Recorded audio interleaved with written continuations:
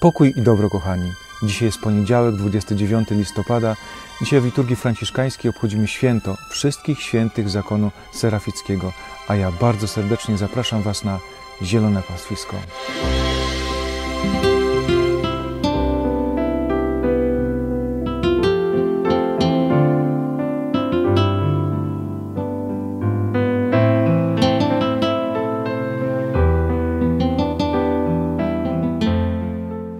Dzisiejsze rozważanie, kochani, rozpoczyna od bardzo śmiesznej historii, którą opowiadał nam pewien Dominikanin. To jest bardzo ważne, że opowiadał to Dominikanin. Otóż sytuacja dzieje się przed bramami raju, stoi tam święty Piotr i wpuszcza po kolei różnych świętych, którzy zajmują swoje szczególne miejsca w niebie. Kiedy przychodzi Franciszkanin, to bez żadnych ceregieli, po prostu witaj, proszę wchodzić, następny, następny, już Franciszkanka, dobra, następna. Ale kiedy przychodzi Dominikanin, Wówczas rozwijają czerwony dywan i mówią: Witamy bardzo serdecznie, bardzo serdecznie, prosimy, prosimy, prosimy, witamy. I wtedy jeden z Franciszkanów nie wytrzymał i mówi: Czy to nie jest jakaś dyskryminacja? Kiedy wchodzi Franciszkanin, to wówczas tak szybko się ich przepędza, tak jak jakieś owieczki, a kiedy przychodzi Dominikanin, to rozwija się czerwony dywan, tak jak jakaś ważna figura. I wtedy święty Piotr powiedział: No wiecie, Franciszkanów w niebie jest bardzo dużo. Po prostu jest jak owieczki, po prostu wchodzą i ich jest mnóstwo. Natomiast kiedy zdarzy się jakiś dominikanin, to już jest rzadkość, to już jest święto. I dlatego rozwijamy czerwony dywan i witamy tak ostentacyjnie. I rzeczywiście, kochani, w niebie jest mnóstwo różnych franciszkanów i franciszkanek, którzy mieli taką część wspólną. Zostali zachwyceni podejściem do Ewangelii, taki, jaki miał święty Franciszek. I przypomina mi się tutaj wypowiedź y, kardynała Macharskiego, który kiedyś podczas swojej wypowiedzi powiedział: Czy wiecie, jaka jest Ewangelia według świętego Franciszka?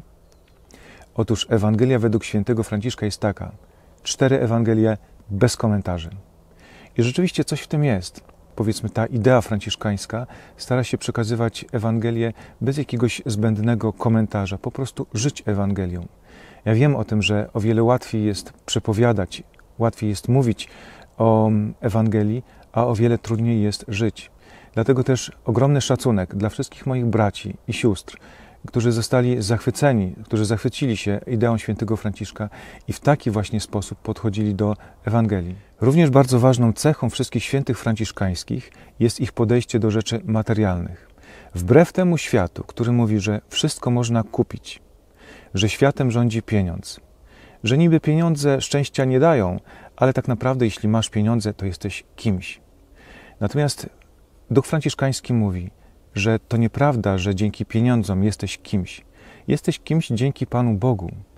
Dzięki Jezusowi, który ukorzył się, który, który urodził się w ubogim żłóbku, który zawisł na krzyżu, który jest po prostu blisko każdego człowieka, również tego bardzo biednego. I również y, pieniądze należy traktować nie jako cel, ale jako środek, jako narzędzie do tego, aby coś dobrego zrobić w tym świecie. Jak pewnie się domyślacie, wielu świętych franciszkańskich używało rzeczy materialnych, ale one nie stawały się celem, one były narzędziem do osiągnięcia zbawienia, do jeszcze większej chwały Panu, Pana Boga. Tak jak święty Maksymilian Kolbe, który inwestował w bardzo dobre, najlepsze maszyny do drukowania rycerza niepokalanej. Jest takie piękne zdjęcie, które, którego nigdy nie zapomnę ubogi brat stoi na boso obok wspaniałej, najnowszej maszyny drukarskiej, po to, żeby na poziomie był ten wydruk, żeby Słowo Boże, po prostu, które ma prawo do najlepszych rzeczy, żeby rzeczywiście było drukowane na najlepszych maszynach. A więc Duch Franciszkański mówi: używaj rzeczy materialnych, ale nie przywiązuj się do nich. Nie jest ważne, ile pieniędzy posiadasz, ale ważne, jak bardzo ufasz tym pieniądzom, albo jak mało ufasz Panu Bogu. Duch franciszkański to podejście do każdego człowieka, bez względu na to, czy to jest bogaty, czy to jest biedny, jak do brata, jak do siostry, bez żadnej różnicy. To podchodzenie do człowieka wierzącego i niewierzącego, albo wierzącego inaczej, jak do brata, jak do siostry. To głoszenie całemu światu pokój i dobro. Pokój to jest to wezwanie, którym Pan Jezus przywitał swoich apostołów, kiedy po swoim zmartwychwstaniu przyszedł do nich. Mówił: Pokój wam. I również my mamy nieść pokój.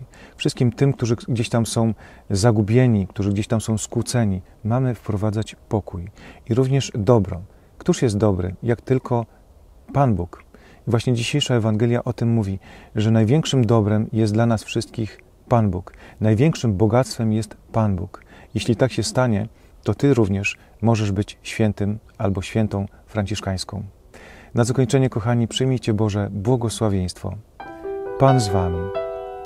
Niech Was błogosławi Bóg Wszechmogący, Ojciec i Syn i Duch Święty. Amen. Wszystkiego dobrego, kochani. Szczęść Boże, papa. Do jutra.